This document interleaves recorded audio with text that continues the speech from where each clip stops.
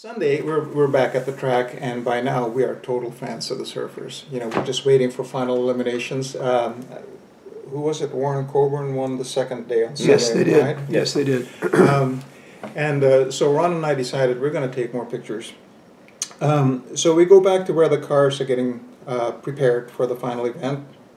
Um, and again, I hopped over the fence and I took this picture of Mike Sorokin getting ready. This is It's a my wonderful favorite shot. That's a wonderful shot of You know, Mike. I mean, the lighting is And, great. and all the guys behind him, it's just wonderful. Yeah, Mhm. that's a great shot. Dump block. I wish Tom Jobe was in this one, but he wasn't. Um, so, um, got this shot of Sorokin. You kind of see the tension on his face because he's Mhm. getting ready for the big one, the final event. Yep. Um, I also took this picture of James Warren getting ready for his. Unfortunately, he, he wasn't facing in my direction, Right. but um, Still a fine color shot. Yeah. And yeah. And shows beautifully in his flame suit how tall he was. Yes. Too. Right. Tall Yeah. slender. He's a tall guy. Mhm. So they pushed the cars off, and Ron and I had to make a decision: where are we going to watch this final? You know, and we were halfway between the start line and the finish line, and I said to Ron, "You know what? Why don't we run over? Because there's a lot of people at the starting line. Why don't we run over to where the finish line is? Maybe we'll get a good shot of the winner there, whoever it's going to be." Go. So Ron and I ended up down there, and we're waiting, and the, the, the cars get pushed off, and they kind of disappear off into the distance, and they make their turnaround. It's like a half a mile away. You can barely see them, you know. And we hear the engines run, and turn around, it gets real quiet, uh, and then all of a sudden,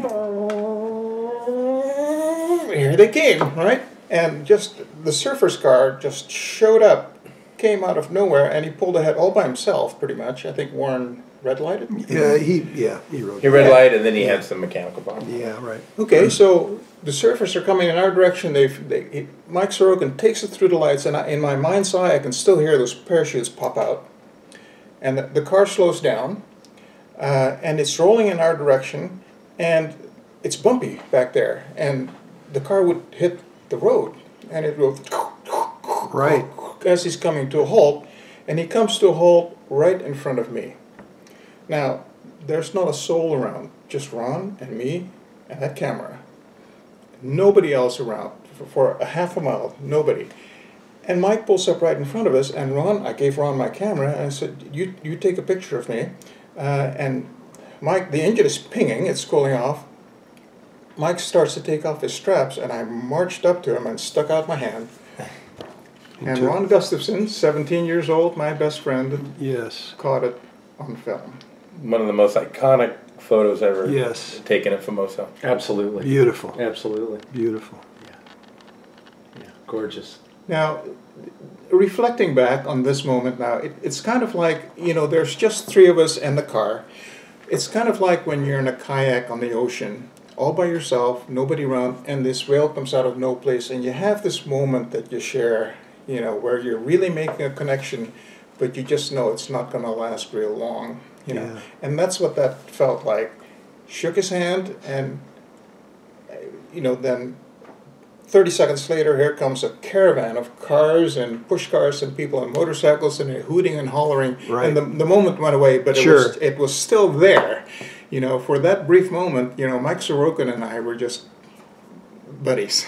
and it was just the most awesome feeling. Of all the people that were there, you experienced the first handshake. And The that's first handshake, you know. And of course, I had to do the same thing for Ron, but I was, I took his picture, but I was shaking. I was so excited. And so I So it's a little blurry, shot. huh? It's very blurry, unfortunately. Uh, this is Ron and Mike, and at this point, the others hadn't yet caught up. Um, but shortly after this shot was taken, everybody and his brother showed up, and I took this last picture. I think this is Don Prieto. Don Yeah, Prieto. on the Prieto. motorbike, Yeah, yeah, right, motorbike. sure. The wave maker. Um, The wave maker, yeah. And curiously, Mike Sorokin, he seemed very subdued. I mean, there was he wasn't jumping up and down for joy. He just kind of looked a little chagrined and shy, and like it hadn't struck just yet. Uh, so, you know, that night we went home with a camera. We had no idea what was in the camera. All we knew is we had a couple of rolls of film, you know. And it wasn't until we had them developed uh, that we really realized we have some pretty cool pics. Yes. We then tucked that film away for 35, 40 years thinking, well, that was just an event that happened. I had no idea that there would be any interest in these pictures today. But then about 1998, I saw an article in Hot Rod Magazine, so this is like 35 years later, uh, on the surfers. It's the Cole Kuntz article. Kunz, Paul Kunz. Yeah. Yeah, Fantastic article. a fantastic article, you know, and, Yep. and I, I remembered the event, and I remembered the ride on the fender, and so I wrote a, a letter to Hot Rod Magazine, and I told them I was there, and this is what the surfers did for me. They didn't know anything about me. I was a spectator, a 17 year old, and they gave me a ride on their push car on the one of the most important days of their lives. How cool is that? These guys are totally first class. And I sent it to Hot Rod, and they, they never printed it. Um, but Don Ewell did. I also sent it to Don after a while, and I think he put it on his We Did It for Love website. Don Ewell, I yeah. think that's where the letter and the picture ended up Nice. eventually. Yeah. Um, And that's where I ran across it. and that's where you found it, right? So this would have been 1998 when I wrote the letter, um, and then uh, it things went quiet for what 12 years or so till about 2012, and then uh, I started thinking about the surfers, and I started thinking about Tom Jobe, and I read someplace um, that Tom had gone to work for American Honda, um, and it just turned out that my daughter Sarah was dating a boy whose dad works for American Honda. Uh, the, the man's name was um, Blank, Ray Blank, Mm-hmm. uh, Cody Blank. I, I think it was like a VP of marketing. Oh. Um, and so, Tom, Tom described as, as the highest ranking non-Asian at American Honda. He That was a, sounds he, like him. he was a big deal. Yeah. yeah, it was Got it. Ray Blank, right? Bud Blank. Um, anyway, Sarah was dating this boy, and uh, at one point I got to meet his dad, and I asked him, "Hey, there's this guy named Tom Jobe. He used to have a dragster, and I'm told he works at American Honda. You know, you happen to know him?" And uh, Ray Bud Blank says, "Yeah, he's my best friend."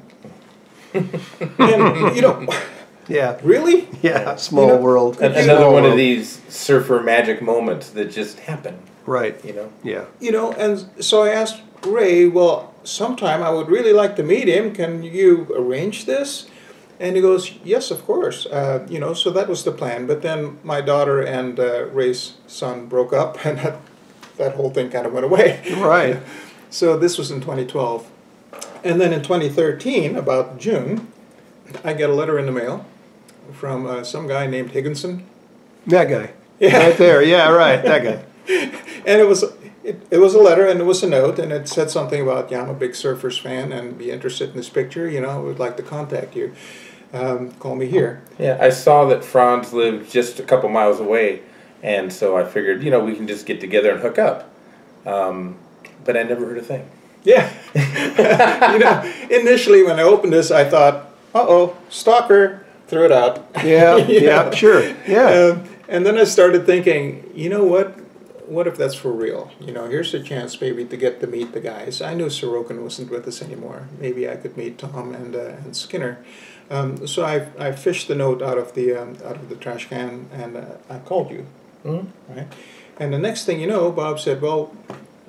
The, the the old dragster guys have this event at Fuddruckers in El Toro where they have lunch. It's the uh, 1320 group, and about Yeah. every four to six weeks they have a little get together. Yeah. Sometimes in San Diego, sometimes in LA. Yep. This one happened to be in Orange County and real close to me in France. Yes. Yeah. Um, and so Bob said, you know, the next event is on this state. Uh, why don't you come on down and you can meet some of these people? Uh, and so I showed up, and there was Bob, and there was Tom Jobe. You know, and I mean, I was over the moon. You know, finally you get to meet the guy who was probably responsible for the ride on the fender, and uh, I shook his hand, and we sat down and we had a hamburger, and I finally had a chance to ask him, why? Why did you do that? You know, I mean, I was just a spectator. And Tom said he sees that whole drag racing scene as kind of its own little ecological system. And it has to have three components it has to have racers, participants, and it has to have an organizer, and it has to have fans. Right. And he appreciates all three. So he said, you know, when I saw you running, he's kind of trying to recall this, when I saw you running, it just seemed like the most natural thing in the world to do to come and join the party, come and join in the celebration. Uh, and I told him about Ron, who took the picture, and, and he said, The only thing I regret was that we didn't have Ron on the left fender. okay. Um, so from there, you know, Tom and I, uh, we just had a wonderful time catching up, and uh, what a what a gracious sort of a, a fella he is. Um, you know, Skinner wasn't available at the time, and since then has has passed away. Yes. Um, but it, here I'm having hamburgers with all these people that I remember from 65 years ago. These were my heroes. These were the participants, and I'm sitting in with this group, and it's an odd, odd feeling. Um, but drag racer guys from the 60s are so cool. You know, they'll come and join us. You know, and Yeah. I got to meet Ivo and McEwen. And I think Roland was there that day. Yeah. Roland was there that day. Yeah. Danny Broussard. Good good group. Yeah, and so at one point I got a little confused and I spoke to Rod McCarroll and says, Rod, I, I don't understand something. Explain this to me. He says, these people were folks that I just worshipped when I was 17 years old. Yes. And they're talking to me like I'm one of their group, Yes. like I'm one of them. Right. You know, it doesn't make any sense. Why? And Rod told me, you know, um, that event, Bakersfield 1966, is now known as the biggest drag race of all time. There are hundreds of pictures of the start of that race. There's one of the end, Right. and it's this one here. Yes. He said that picture is a, a memorial. Yes. You know? Yes. And you have to feel good about taking that so many years ago, and And- and, and Yeah. all this time has passed. And so, you know, it start kind of started to click, and the next thing you know, here's Bob building a surface rail, and you know, I met you guys, Yep. and uh, I'm, I'm just amazed now. You know, there's folks that will tell you there's a great circularity in life. Yes. You know, and Yes. uh, things that we used to do will come back, and we get to revisit them. You know, and I used to be kind of a skeptic, uh, but. Um, I'm becoming a believer. You know, Yeah. stuff like this happens. Uh, Yeah. You start to think, okay, maybe something, there's something to it, and and there's no doubt that those of us who lived those days are now in the last quarter of our lives. Yes. Okay? So we don't have an awful lot to look forward to, but instead we seem to spend a lot of time looking backwards Right. at the places that we've been Yes. and the things that we've seen, the things that we've done. Yes. And when we do these things, you know, you can't help but think of that event, Bakersfield, 1966.